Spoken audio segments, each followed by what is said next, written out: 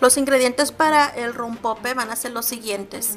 Ocuparemos 4 tazas de leche, 6 yemas de huevos, media taza de azúcar, una cucharada de extracto de vainilla y por último una raja de canela. Empezar por poner en una olla las 4 tazas de leche a fuego medio. Y vamos a empezar a revolver por unos 5 minutos hasta que la leche empiece a calentar.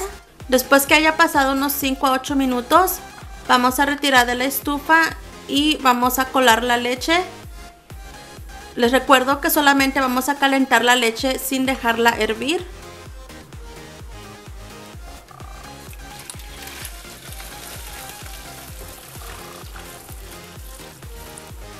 Después vamos a empezar a batir las 5 yemas de huevo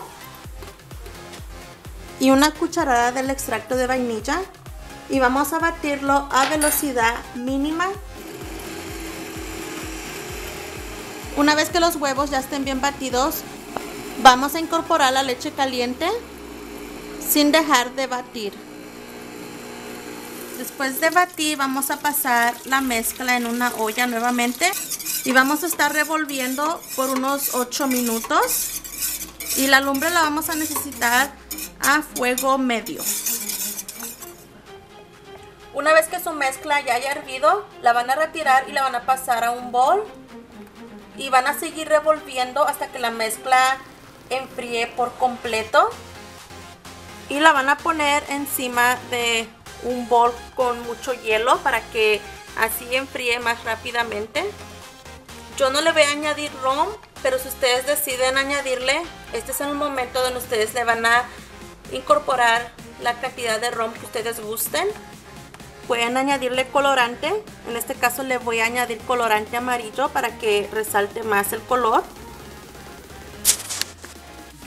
Una vez que el rompope ya haya enfriado, entonces la pasamos a un recipiente y de aquí lo vamos a llevar a refrigerar. Esta preparación necesita mantenerse en el refrigerador. Espero que les haya gustado esta receta ya que es muy fácil de preparar.